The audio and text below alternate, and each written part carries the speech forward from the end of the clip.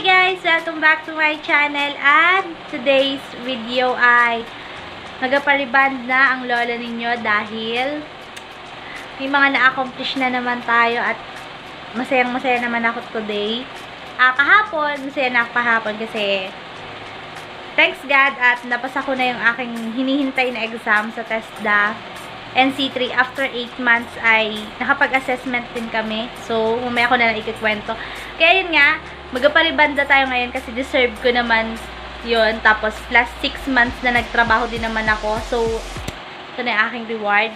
Walang bonus, pero may sweldo, kaya kailangan ay mag-invest naman para sa sarili.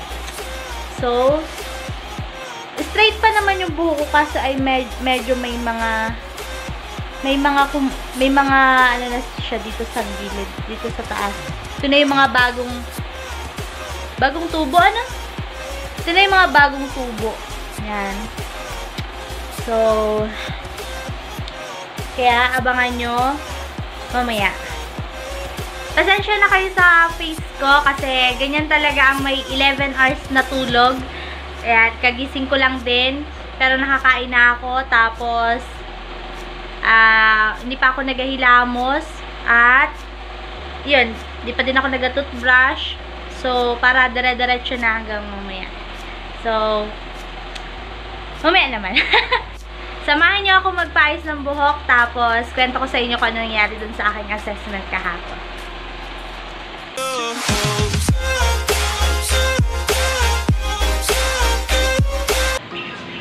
Yan. So guys, dito na tayo kay Ate Inday na uh, mga taga-buwak dyan ay alam na, kilala nyo naman siguro si Ate Inday. Dito na kayo magpaayos ng buhok. Since college days, yun, nandito, dito na ako nagpaayos ng buhok. So, legit na maganda talaga.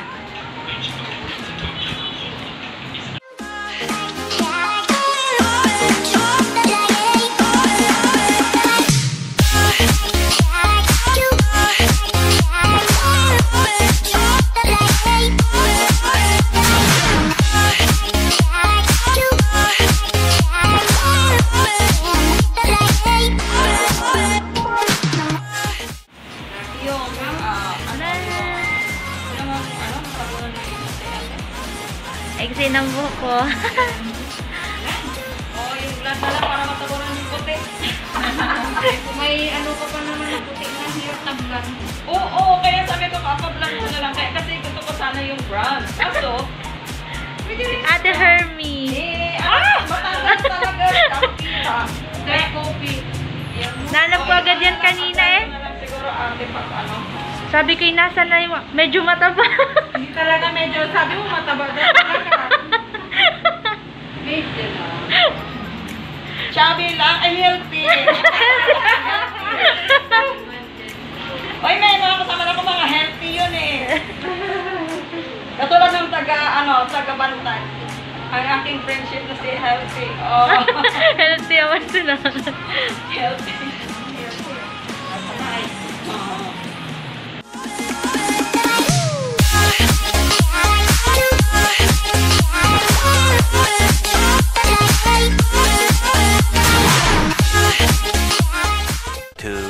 Thousand years later.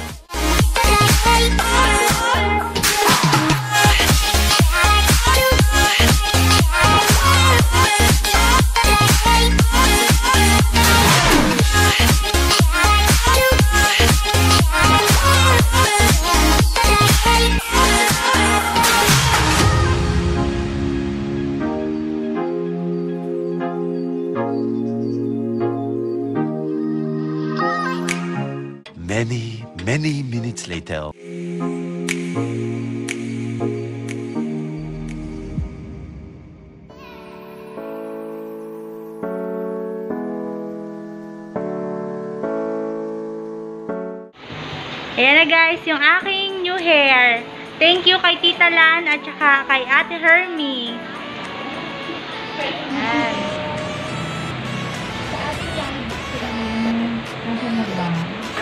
Ang gaan talaga. Yan. Hi guys, nandito na ako ngayon sa bahay at di pa ako nagatanghalian kasi nga tagal ko doon. Kumakain pa lang ako ngayon ng tanghalian. Kaya hindi muna ako na pagkain ko. Alam na, kikinig ng music ang aking mother, so hindi, hindi niya ako sasabihin kumain. Kaya ako na lang mag-isa.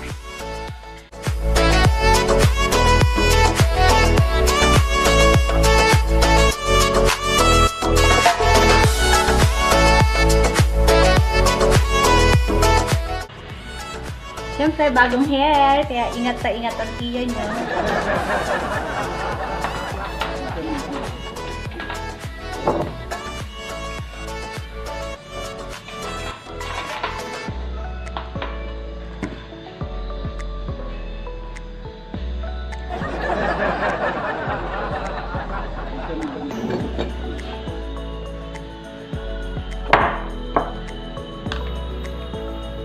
Ito yung ulam ko. Corned beef.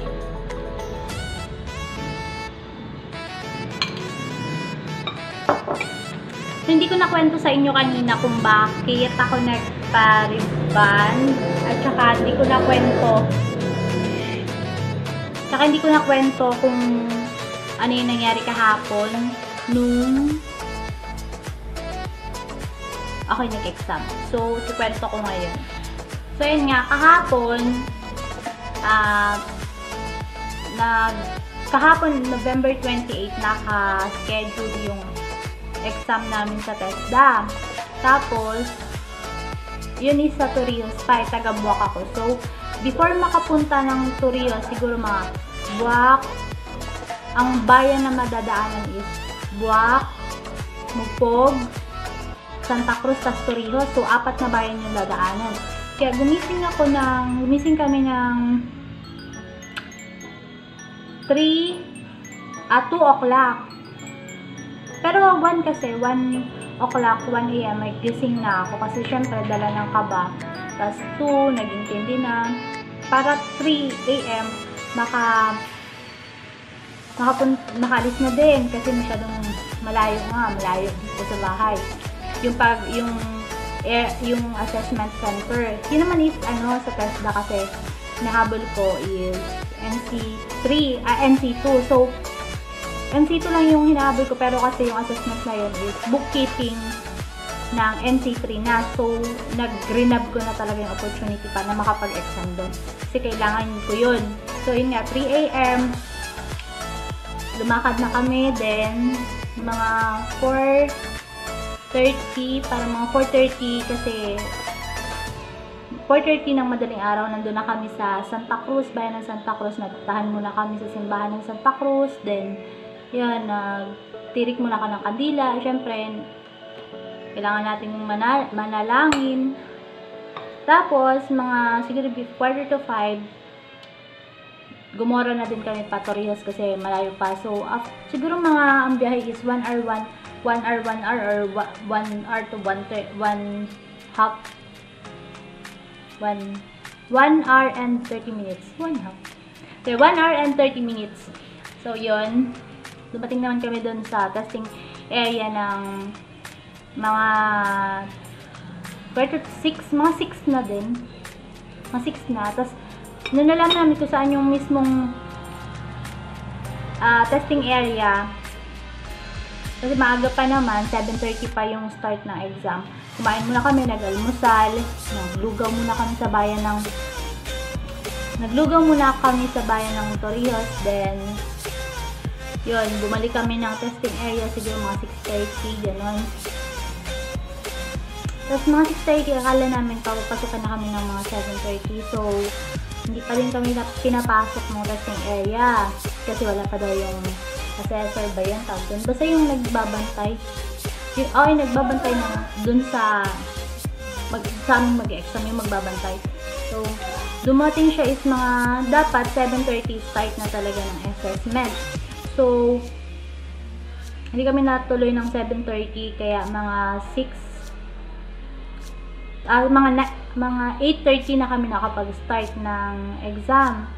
8.30 kami nag-start ng exam tapos walo lang kami talagang sobrang lang namin doon sa space.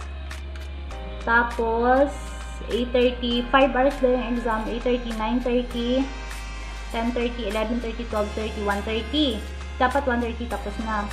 So, yun, ang hirap ng exam, talagang mahirap yung exam. Tapos 10 page siya na parang module. Sagutan mo. Tapos, accounting, bookkeeping kasi, ayun, puro computation, tapos kailangan tally, ganyan. Yun. Tapos, maraming binabasa, may mga binabasa din. Tapos, mga 12, mga 12 tapos na ako mag-exam. So, nagpasa na ako ng mga 12. Kasi nintay na pa namin yung iba namin kasama na mag-exam hanggang 1.30. After nag-exam ng 1.30, wala kaming break, wala kaming 5 or 15 or 10 minutes na break para magkumain man lang. So, syempre, 6.30 pa ako kumain. Gutom na gutom na ako. Parang alas 9 pa lang, gutom na gutom na ako. Then, 1.30 na, hindi pa din kami, nakapagpasa na lahat, hindi pa din kami pinalabas. So, wala pang merienda, walang tanghalian. Tapos, kung nga pinagpasa na ako ng maaga mga 12, nagpasa na ako. Kasi gutom na ako. Parang, mas nararamdaman ko na yung kalam ng sikmura ako. Ang sakit na talaga niya. Pero, kala ko kasi pag nagpasa na, pwede nang lumabas. So, hindi pala ganon. So, yun. Hinintay namin na hanggang 1.30 yung iba namin kasama. Then, after nilang magpasa, hindi pa rin kami pinalabas. Kasi, nag-check na. Nag-check na yung doctor namin ng aming ah mga, yung mga sinagutan namin, chinek na din niya isa-isa, minanawa na niya. Then, 1.30, 2.30, 3.30, 3.30 na. Then, di pa rin kami kumakain. Walang merienda, ganyan. So, pero sinabihan naman kami na, nung mga ano, mga siguro tapos na mga, mga gato, sinabihan naman kami na kung di pa daw kami nakain, syempre hindi pa kami nakain, pwede naman daw kami kumain. So, pwede daw kami lumabas. Sa, kaso, dun sa testing area, wala naman kasi mabibilan ng pagkain. Wala kami mabibilan. Hindi pa siya sobrang babang-babang-baba pa bago ka makabili.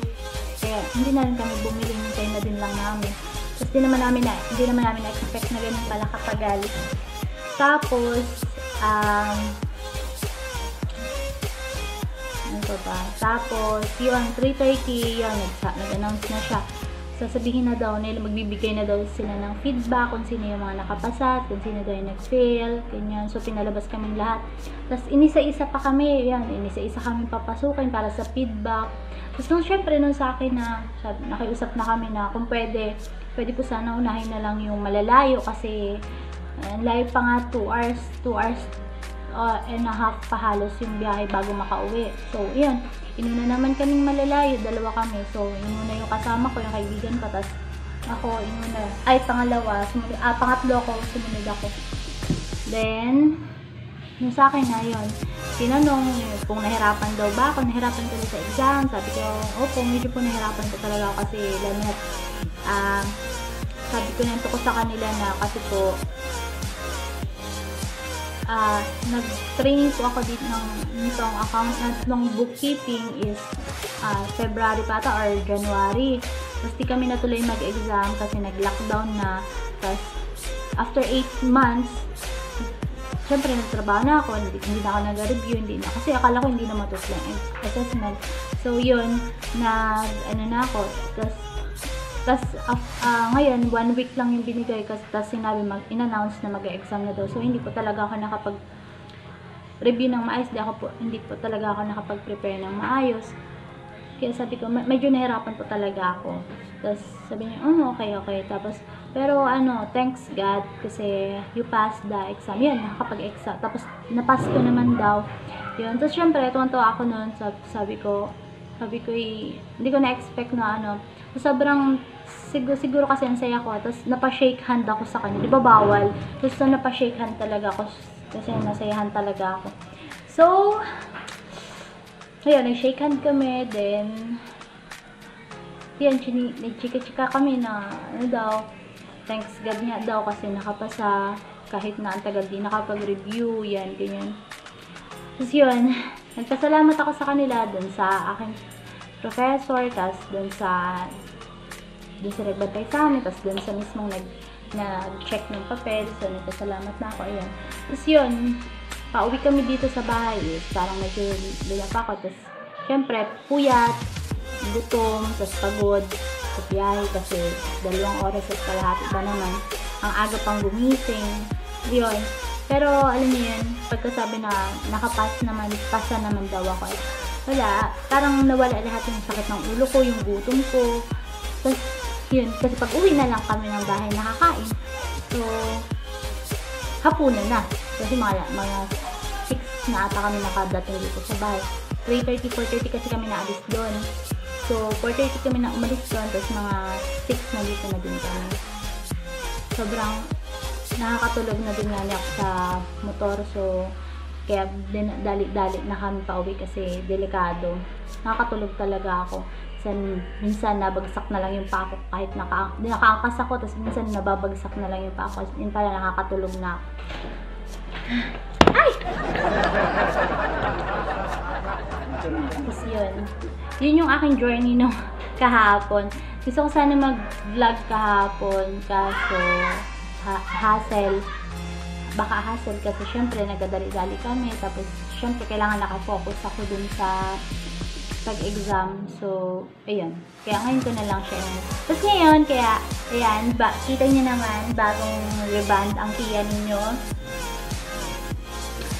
bagong reband kasi, syempre, treat ko din sa aking sarili.